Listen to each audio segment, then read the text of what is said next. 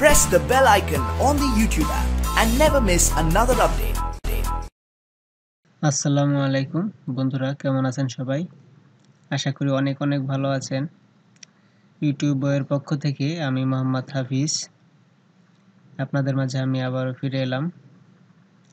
তো আজ আপনাদের মাঝে নতুন টপিক সেটা হলো আপনার কম্পিউটারের হার্ড ডিস্ক পাঁচশো জিবি সেটাকে করে দেব টু ট্যাপ তাই না? এই তো হয়তো ভাবছেন হাফিজ ভাই পাগল হয়ে গেছে। যাই হোক, পাগল হওয়ারই কথা। তো চলুন আমরা কাজে যাওয়ার আগে যদি আপনি আমার চ্যানেলটি এখনও সাবস্ক্রাইব না করে থাকেন, তাহলে প্লিজ এখনই সাবস্ক্রাইব করুন। আর যদি অলরেডি সাবস্ক্রাইব করে থাকেন, তাহলে অনেক অনেক ধন্যবাদ। তো বন্ধুরা, আমি যে আপনাদের, যে জিনিসটি শেয়ার করব, সেটা হলো আপনার যে কম্পিউটারে হার্ড ডিস্ক মনে করুন আপনার হার্ড ডিস্কটি পাঁচশো জিবি এই যে দেখুন, আমার হার্ড ডিস্কটি আছে। টোটালে অন ট্যাপ হার্ড ডিস্ক আমার এক হাজার জিবি তা আমি এটাকে তিন হাজার জিবি করব। তো এটা কি সম্ভব? যদি বলি হ্যাঁ এটা সম্ভব। তো কীভাবে? তো চলুন, সেটা নিয়েই আজ আপনাদের মাঝে আলোচনা করব, সেটাই আপনাদের মাঝে দেখাবো। তো বন্ধুরা, যদি আমার ভিডিওটি আপনাদের একটু ভালো লেগে থাকে তাহলে ভিডিওটি আপনার বন্ধুদের মাঝে অবশ্যই শেয়ার করবেন। তো চলুন, আমার এখানে ড্রাইভ সি ড্রাইভ সহ পাঁচটা ড্রাইভ রয়েছে। তো আমি দেখাই কীভাবে দুই হাজার জিবি একটি ড্রাইভ তৈরি করব। এর জন্য আমি যাব ডিস্ক ম্যানেজমেন্ট সেটিংসে। আমি এখানে সার্চ বক্সে লিখি ডিস্ক এই যে create and format hard disk এটাতে ঢুকবো, ঢোকার পরে এখানে আমার যতগুলো হার্ড ডিস্কের যতগুলো পার্টিশন আছে, সবগুলো এখানে দেখাবে। এই যে দেখুন, আমার সবগুলো পার্টিশন তো এখানে এই যে দেখুন ডিস্ক জিরো আর একটা আছে সিডি রোম জিরো তো আমি এখানে আরেকটি এখানে পার্টিশন করব।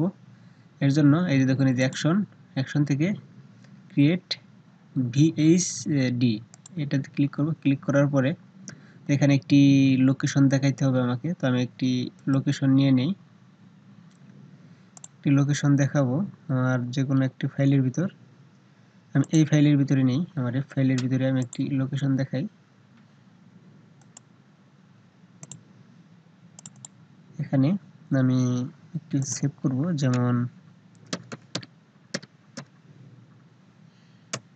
আমি লিখি ইউটিউব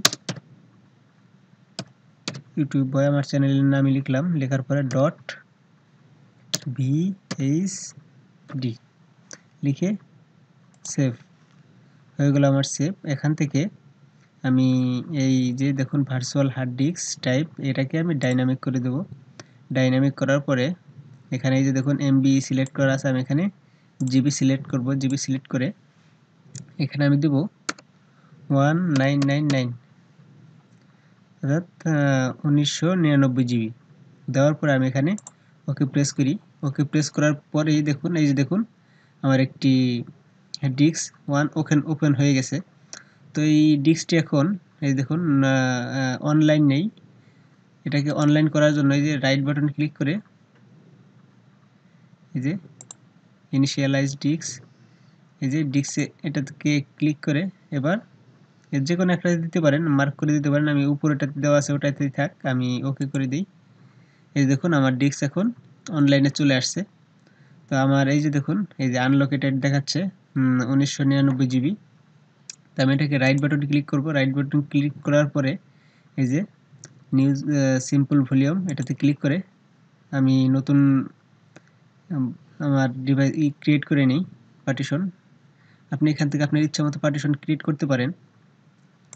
নেক্সট এই যে এখানে আপনার ইচ্ছা মতো আপনি এই পার্টিশন কত জিবি নিতে চাচ্ছেন সেটা দিতে পারেন। আমি ডিফল্টভাবে সবই নিচ্ছি। নেক্সট এই যে আমার ডি সিলেক্ট হয়েছে। যে কোনো একটা আপনি সিলেক্ট করে দিতে পারেন। ডি আমার থাক ডিফল্টভাবে নেক্সট এই যে দেখুন, আপনি এখান থেকে যে কোনো একটি কি নিয়ে নেবেন এনটিএফ এনটিএফএস এটি সবচেয়ে ভালো। নেক্সট ফিনিশ আমার ড্রাইভটা এখন ফরম্যাট হবে। ফরম্যাট হওয়ার পরে দেখা যাবে যে দেখুন আমার সিগন্যাল চলে আসছে। আমার যে একটি ড্রাইভ ওপেন হয়ে গেছে। তো আমি এটাকে আপাতত কেটে দিই। কেটে দেওয়ার পরে দেখি আমার মাই কম্পিউটারে যে, এই যে দেখুন নিউ ভলিউম এই যে টু ট্যাপ আমার একটি পার্টিশন হয়ে গেল। তা আমার আমার আশ্চর্য বিষয় হচ্ছে যে আমার হার্ড ডিস্ক তো ওয়ান টেরা অর্থাৎ এক হাজার জিবি আমার এখানে তিন হাজার জিবি কীভাবে হলো? তাই না? এটাই তো একটি বোঝার বিষয়। তো বন্ধুরা আমাদের মনে হয়তো একটু সন্দেহ হতে পারে যে এটা ই হয়েছে ড্রাইভ হয়েছে, কিন্তু ড্রাইভের ভিতরে কোনো কিছু লোড হবে না। তো আমি একটি ফাইল আমি কপি করি। কপি করে আমি আমার এই ফাইলের ভিতরে পেস্ট করে দিই। এই যে দেখুন, আমার সম্পূর্ণ ফাইলগুলো চলে আসছে। এই যে দেখুন, প্রায় তিন জিবির মতো আমি এখানে দিয়ে দিলাম। তিন জিবির মতো লোড হচ্ছে।